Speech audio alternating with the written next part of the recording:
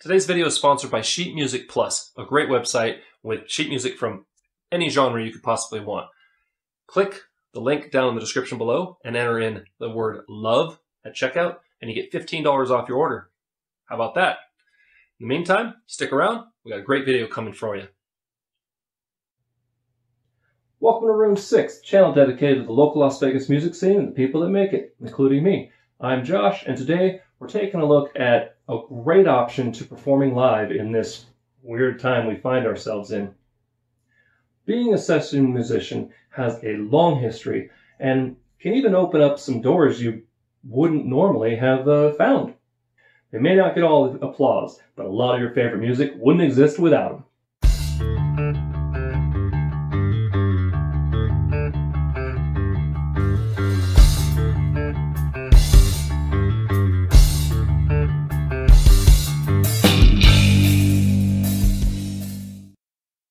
If you're enjoying the content Room 6 is putting up, please make sure you subscribe down there and hit the bell so you don't miss an episode. While you're at it, feel free to like and share.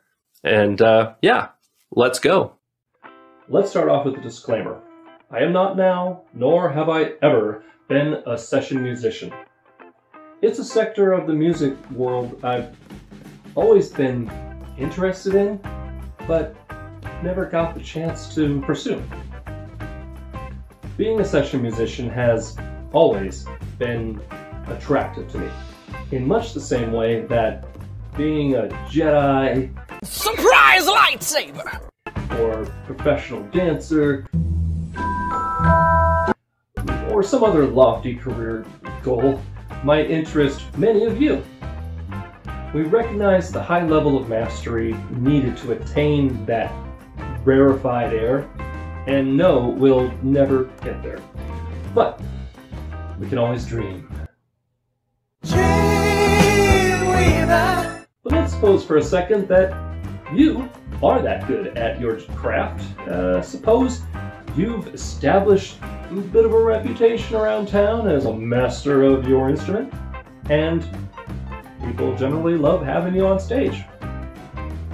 Being a session musician may be just what you need during these COVID inflicted times to pay the bills. In some ways, the session artist is the unsung hero of popular music.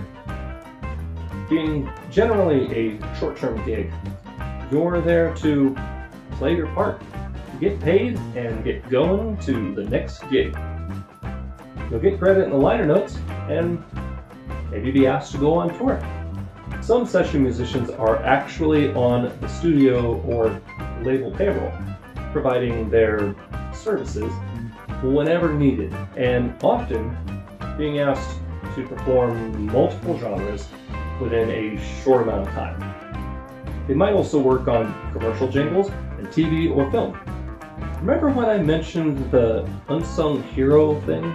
Session artist is the unsung hero, unsung hero, unsung hero.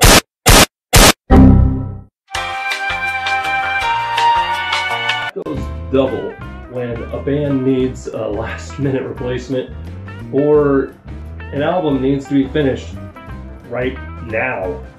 Session musicians are expected to be professional and ready at the drop of a hat. But what about the pay, I hear you say? Um, no. Quite a few session musicians are part of some union with set rates of pay in exchange for future rights to royalties.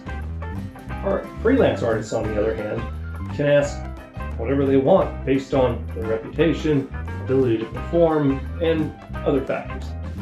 As an example, in 2020, the American Federation of Musicians listed a rate of $868.42 for three hours of basic non-symphonic sound recording and $1,302.64 for three hours of premium non-symphonic recording. Whatever that is. Being a session musician can be lucrative and fun if you have the chops and the right temperament. It can even lead to something bigger.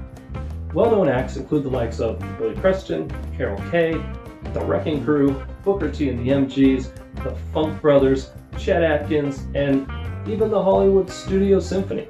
If this sounds good to you, now's the time to start practicing like never before. If you think you're ready to enhance someone's musical vision, record yourself and put it out there. Who knows? You may become the next secret in music production.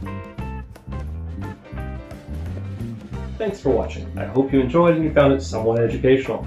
In the meantime, if you want to see more videos like this, click up here. If you'd like to subscribe, please click down here and don't forget to ring the bell.